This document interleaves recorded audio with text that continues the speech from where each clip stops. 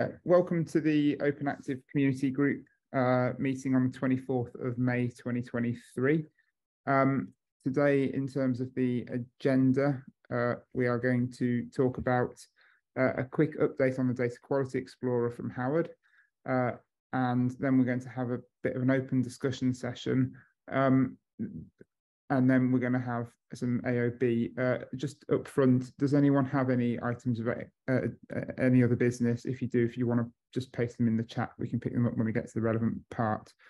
Uh, but on that note, Howard, I'll hand over to you to give a quick update on the Data Quality Explorer. Excellent. Thank you, Andrew.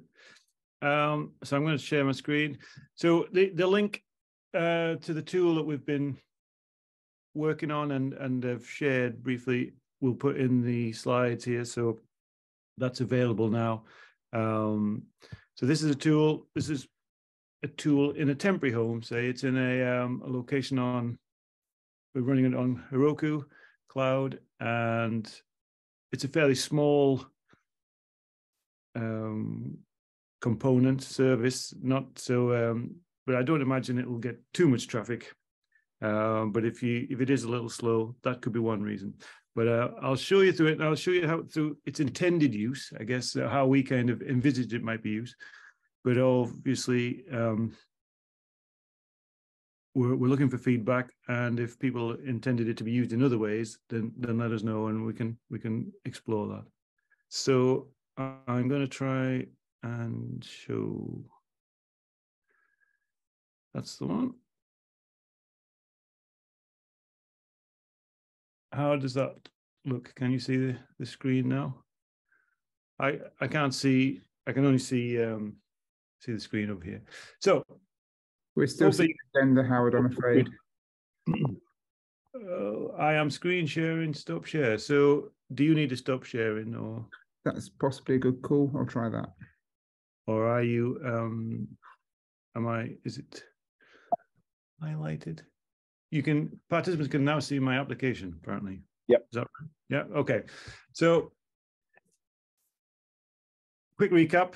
Uh, it's based on the data visualizer that we inherited from Open Referral, and Nick uh, did some work to make that open active friendly uh, or relevant. And we just took that as a as a convenient base um, to take the visualization a little bit further and bring in some of the data quality measurements that we've been looking at. Um, so I'll just run through a kind of typical approach to it. So there's maybe five or six steps, I think.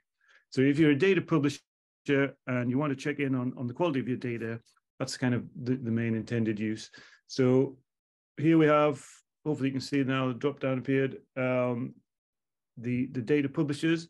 And these are taken from the dataset site pages that accompany uh, an open active feed.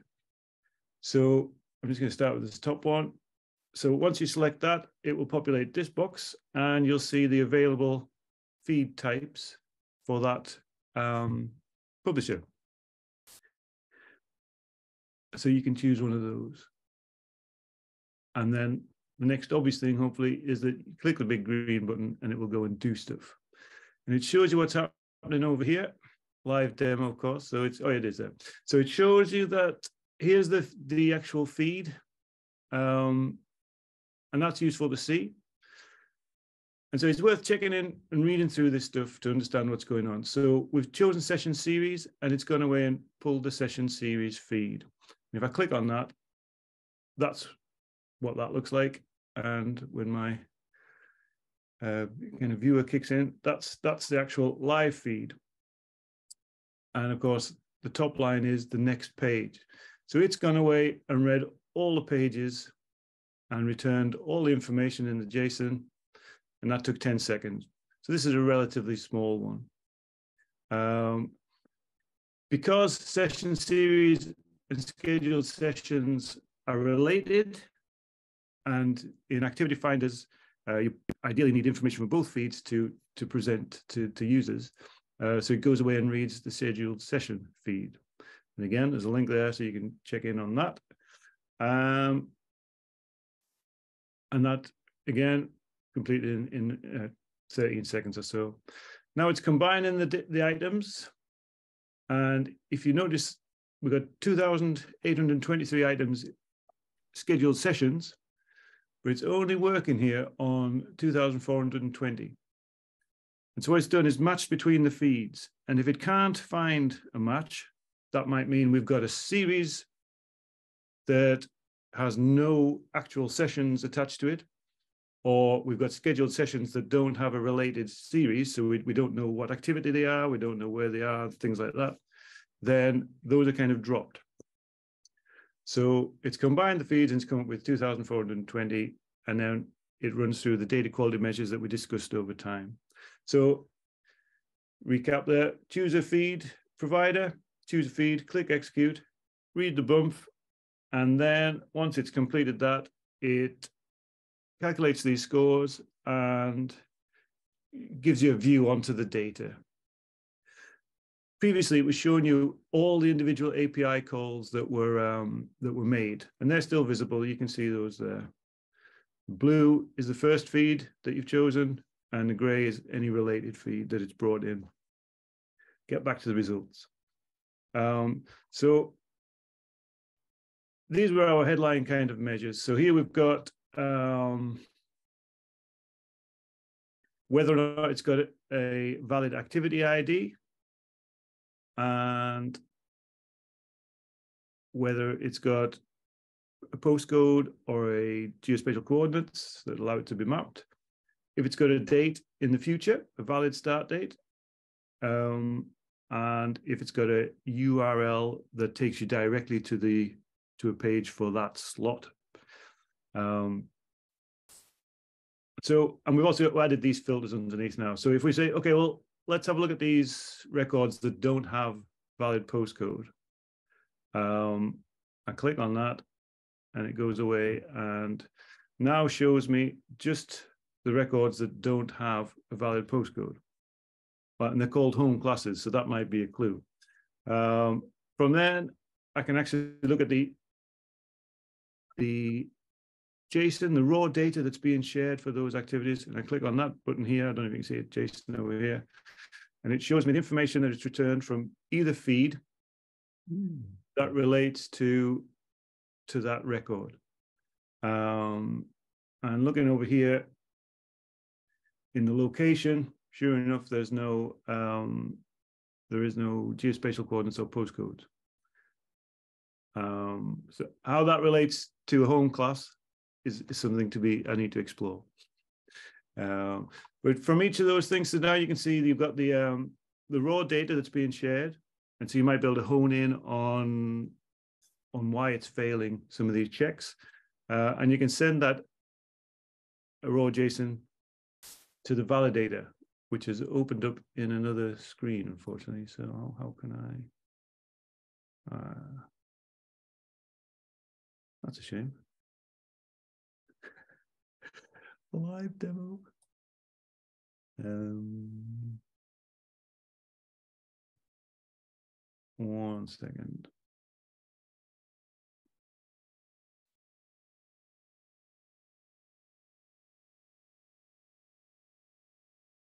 You might be able to drag, the, the Chrome tab that I opened in the new window into this window, and then we can see it.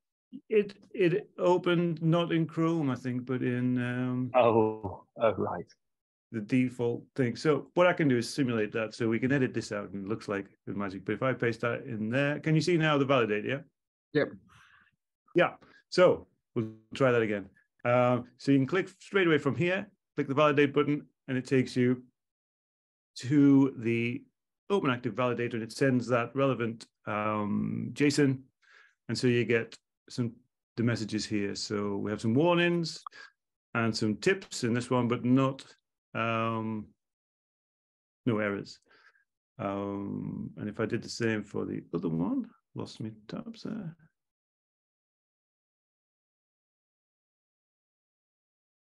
One second.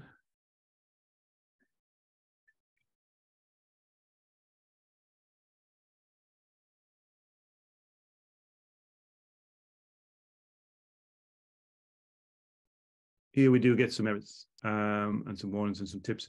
So you can go through that process to um, to kind of hone in on the records that are failing the data quality checks using the uh, these filters, and you can explore it visually, where you can also send it to the validator. So the hope is that this provides some tools to um, to hone in on the kinds of issues that have been reported, um, you know, and that we've discussed over the last few months as to how we can kind of improve the the uh, the end user experience in the activity finder. So, um, and if we can knock the filters off. So there are a couple of things still on the to-do list, but I think certainly the tool in, in that context is um, is usable. I'll show you another one. Uh, so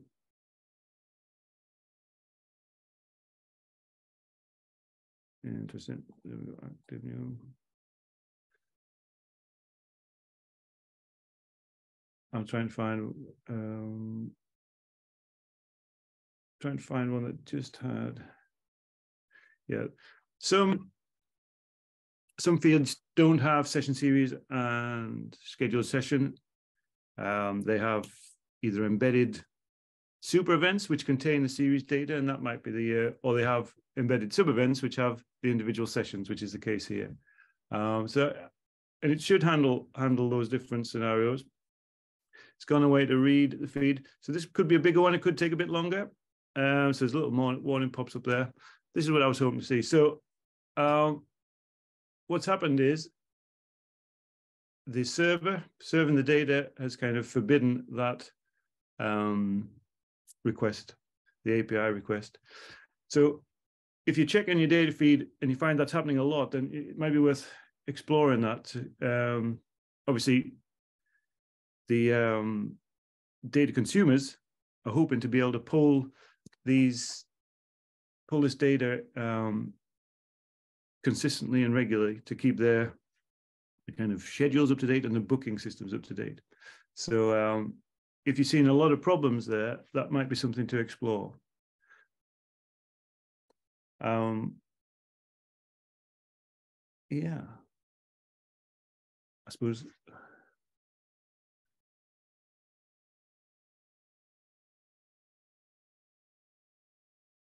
so that, that didn't take too long, just over a minute for a reasonable one. But I do know, and Debbie, you might have experienced this. If you if you something like an everyone active feed, I won't kick it off now because it, it will take probably 10 minutes to go away and read the relevant feeds and then to combine all those records together and then to go back and measure the data quality. So it takes a little while um, on, on the bigger feeds. I'll show one more because what we haven't seen is if you do have um, valid activity IDs, then you get a, chart here that shows they're in use. Um, and before before you ask, because I know someone will ask, there were some filters previously, um, and we're just in the process of restoring some of those. So, for example, if I go, this is the local version, which will be which will be pushed out there soon. Um, so I could hone in on a particular exercise. And so if I, if I wanted to check, you know, data quality per, for a different activity type, and we're exploring a filtering by organization as well. Um, so that's the next step. I think I'll stop there. I think uh, that's the main elements. That, that's Sorry, Howard, Sorry, how, how sorry. Apologies for the, the background noise. Sorry. Go for it. I was just going to ask a question. I'm, I'm, I'm loading up the Everyone Active feed in a minute. I know it's lengthy. I'm noticing the URLs though. It's referring to the test account, not the live account. Is that intentional? No, thank you, Andy. So, um, what I did want to ask. Uh, so, if I go to Everyone Active here, and I am, um, I did. I didn't put the uh, I didn't put the link in there, but it's dq slash uh, dq dash explorer.herokuapp.com. Um, you can maybe see it in the, in the top there. So if we go to everyone active, I lost my mouse, we get in basically three sets of feeds. And that's because in the data catalogs, there are three sets, three entries with everyone active. Um, so the top one, I can't, I'll kick it off, but we can, we, we won't wait for it to load, but it'll show you here where it's going, hopefully. Open data, Leisure Cloud, everyone active. Okay, that's fine. If I uh, stop that and go to this one,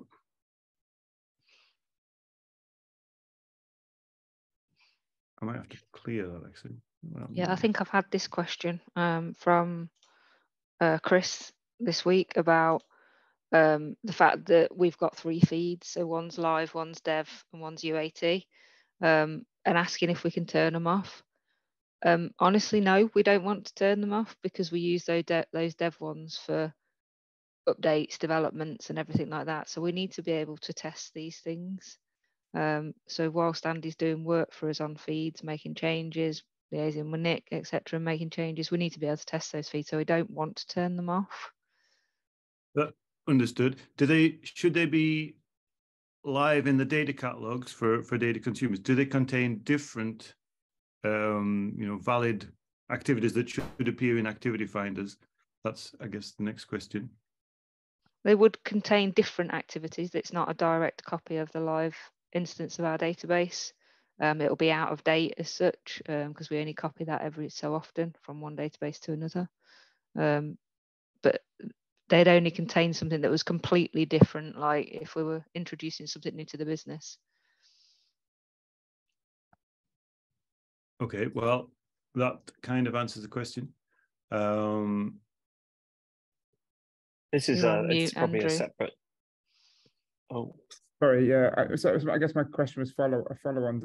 As part of your testing, do those feeds need to be registered as part of the data catalog centrally with Open Active, or could they just sit in the background as as kind of unregistered feeds and just have your live one registered centrally with with the data catalog?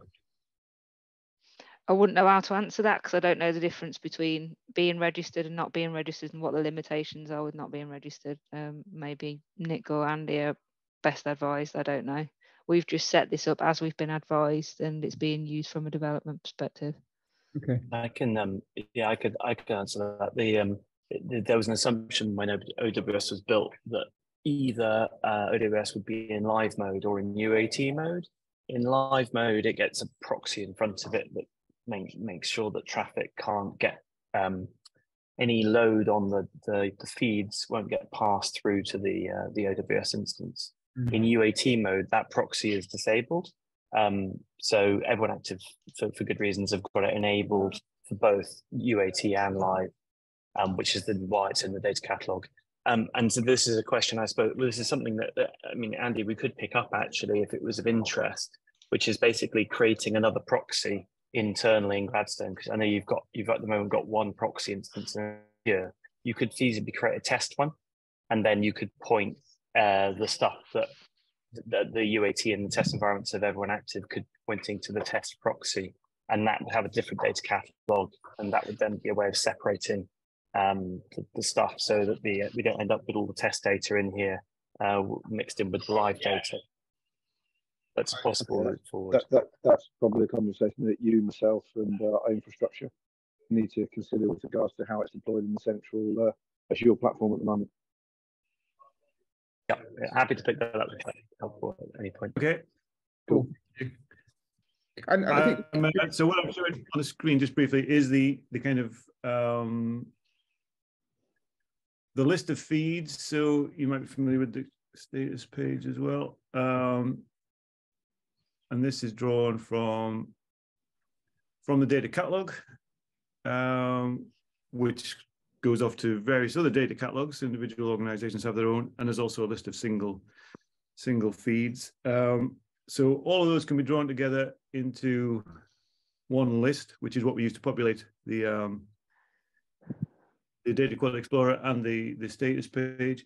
Uh, basically, what that's the kind of where data publishers might start their journey in gathering open active data in. And what we're saying, uh, Debbie, is that if they do that, then they'll go and try and fetch all that data from those UAT and the other um, feeds, and then have to process it. And as you say, it might be old data, um, so it, it might not be of use. So if we can, I guess we want this that start point for the um, for the data consumers, just to have the stuff that should find its way into into an activity finder, you know, and, and people can use it, then it just re will reduce the burden on trying to read and process that data. I think that's what I'm trying to say, if that makes sense. Okay. Yeah, I understand. Um, we just need to find that middle ground, I think, of, of us being able to use it, but uh, a user not being able to access it because we need to be able to access it. So, uh, yeah, conversation can be had with Gladstone and um, maybe Nick's expertise then. Yeah. I think what's really happy to pick up. Yeah, I think what's really interesting me here is that the, the the data quality explorer is already starting to stimulate discussions about data quality and how we can improve the data quality. And um, you know, I, I think the tool has developed quite significantly since we looked at it in the meeting at the end of April. Uh, I think quite a lot of work's gone into it over the, the past month. It's looking much better. And and yeah, the next step is that, that Chris is going to start talking to uh, data providers about the tool, uh, testing it with their data, gathering feedback, and then I think we'll enter a kind of process of continual improvement for the tool. But it's really, I think it's really good that this is already stimulating discussions about issues in data, which is what the the intention was. So so I think that's really great. Thank you, Howard. Uh, uh, when we looked at it, our concern was that the URLs were all 0%. And we know that we've done some work specifically around this in the last two weeks with Andy and Nick's help. Yeah. So yeah, I was just, I was, yeah, I was just going to raise that. Yeah. It doesn't feel accurate um, unless um, all of those results are considering the slots URL, which I think is the one that's not populated but a facility URL would be populated and a series URL would, would be populated, but not a I slots think, one. I think yeah, that's. So I think that was, that, that was a bit. I was sorry, Howard. I think I was, I was going to ask because it looks like you look to do some sort of cross um, analysis between the feeds as well. So if you're looking, let's say, at the session series, sorry, if you look at the uh, scheduled sessions where we've got a URL in there now, we haven't populated that within the scheduled sessions, and likewise facility use, we've got the URL, but we don't have it in the slots. And we were working with Nick on that. Now, if there's a reliance on that, that might be why we're not seeing uh, any percentage increase. Okay. I'm just concerned that from a, a, business perspective, for me, if I was to give this to, you know, the directors of the business, um, that would immediately come back to me to say why, and yep. um, it's quite difficult to explain. Um, okay. That it exists. We have done the work. It exists to a level. It just doesn't exist to that lowest possible level. So I'm just not sure whether it's accurate. I don't that accurate, maybe not the right word, but if you know what I mean, that's that's my concern with it. Yeah. Yeah. So let, us have a chat about how that's defined and that measure. So um, it is it was a proxy measure for. I wish I had a, a really good example, but um, of how in an activity finder you can choose an activity. Maybe find it on the map. You go to um, you click on it, whatever, it tells you the dates and the times. And you can find the session that you want, and then you can click that session, and it takes you straight away to the activity provider, and you don't have to start again. Basically, you are you're at that activity, that date, that time, that session, the price or whatever you've you've already seen, and that is that seamless find and book kind of use case that that we're working towards that is i guess the highest standard um, and so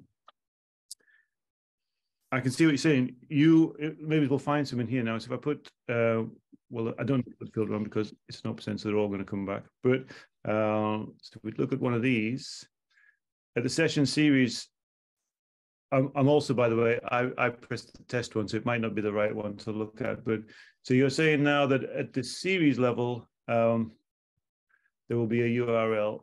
No, uh, not the series level. No, we did. We got it in the scheduled session. But not okay. in the series session. if I remember rightly. Is that right, Nick? I can't remember now. There's so many I think it's the other way around, sir. I think it is this. It's you are right. Level. Yeah, we did the course instance. Yeah, we've done the session series and we've okay. done the facility uses. Okay, which which is a a good step forward. You know, I, I, I, you can see because someone now in Activity Finder is going to go. They go and it tells me the the sessions. Uh, sorry, the series. So they may they're going spinning at a certain place, but now they might have to start again with the date and the time and choose a slot. So they're not right back to the start. It doesn't just take them to the the leisure center website where they have to then go and find things. But that's because let's say there are for each session series there are 20 sessions. Um, what we've counted is the unique URL. So for those 20 sessions, it will have mapped across the URL from over here and uh, you know applied it to that session in this in this in the summary, but it's not a unique URL, and so that record hasn't really counted towards the. So for this waiting, what you're saying is we would need to go down to the detail level to see a percentage increase. So. Yeah, and I wish I could find one. Uh, think of one off the top of my head. Uh, um, I mean, it's kind. It is disappointing because, um, I mean, we've been targeted to look at this specifically for Manchester Active, and if you now go through the MCR Active website as it currently stands, the work that we've done means that the user does end up in our booking platform for that session. Um, it's just not that exact time. But when that comes to classes, the time is really irrelevant anyway because the class is a unique session that takes place every Friday. Um, and so that the experience, the user, the user's not impacted by that. Then that that that is really interesting. Um, and perhaps if I was reporting unique URLs at session level, at series level rather, i.e., this kind of series level rather than over here at sessions, I'm I'm, I'm moving from the blue end to the pink end with my mouse um, then that would be a higher percentage. Um, and we've shown over here that you can show more than one measure. So we could still, for example, 100% of these have got a name, 100% have got a description. It's 95.6% have got a matching ID. So that that's, you know, high. Um, so maybe we could do like a double concentric there and measure it at both levels, which which gives recognizes that work um, and and the the experience that you're now providing, uh, but it recognizes that there's also that extra step which can take people directly to the time slot. Yeah. Um, that, was just, that would certainly assist with regards to the metrics. Sorry? That would certainly that, that certainly would be a step in the right direction with regards to the two forms of metrics. Yeah. Um, so I can I can certainly explore that. I think you know, and the, idea here is is to get things moving in the right direction. It's you know it, it is um, so we do want to recognise that the work has been been done. So I'll explore that. That that's that's good feedback. Um, I wish I could find think of one that has has the URLs as, as a good example, but um, so some of these take take some time. You know, uh, particularly if it's a big feed, it can take ten minutes. We've seen a few that were pretty quick. Um, there's something I think um, Gwen would be one you could use, Howard, if you wanted. I'm really sorry, I have to drop off because I have to do the school run today. There's just one thing that I just wasn't sure about, if I can just before I go, it was the, the, the terminology activity ID in the first okay. um, uh, column. I guess activity ID is something that operators are used to in their own world. Um, an activity ID is unique to a class um, and to a facility, whereas I think what that's referring to is how many of them are associated to an event. Am I right? Uh, no, I'm trying to find one, but um, okay. Uh, not a good one. So, um, how can I do this? If I go over here, perhaps, because I can fill on, we know this has got a matching activity because I've filled on it. Um, so if I look at the JSON for one of these, we should see, um, ah, we should see among, there it is. So where we have an activity, and this is the kind of the open active way of linking it to to the activity list, the official list, uh, so they can be consistently picked up by um, by different activity providers. So in here we have activity, which has a type and it's a concept because it's a vocabulary and it has an ID. And that specific ID is what we're using to match um, to the official activity list. So that's what Yeah, that means by activity ID. Yeah, and I think that's what Debbie's highlighting is that that means something in in the open active world, but that's a completely different phrase within the actual operation and the way that the users refer Okay. to an activity. Uh, maybe I should expand that with valid open active activity ID or something like that to to kind of Or is it, is, Because that's more around your groupings, if that makes sense. So activity, Which is an Yeah. event in our world, isn't it, Andy? I believe it is, yeah. Event Hmm. series ID, yeah. yeah, we can look at the wording for that. I will, yeah, I'll explore how we can make make that more explicit about what we're, we're talking about. We're talking about um, that you, a session series should have uh, that activity information included. Um, that's open active language. I'll try and work out a way of, uh, of, of being explicit about that. Okay, sorry In to be a pain. In the page, no, we wanted we wanted to kind of make sense with people in the front line. Remember, you know, the- the- uh, that's that's the idea. Okay. Uh, I need to jump off, so apologies. I'll see to speak to you soon. Thank you. Cheers Cheers. all. See you later. Yeah, Bye, bye, bye. for some reason, I can't see Bookwhen, um, and I think I know why. No, I just checked. Um, Bookwhen is 404 their dataset site, so it'd be good to pick that up. okay. if someone uh, is in touch with.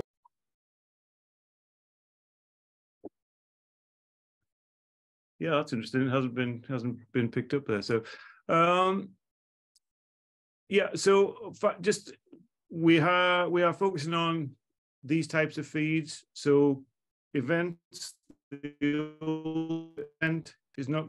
I, I, I'll be adding those back in, and course instances have also been pulled at the moment. Just wanted to get this displaying properly, and this covers the bulk of the um, the feeds. So uh, we will be adding those back in shortly.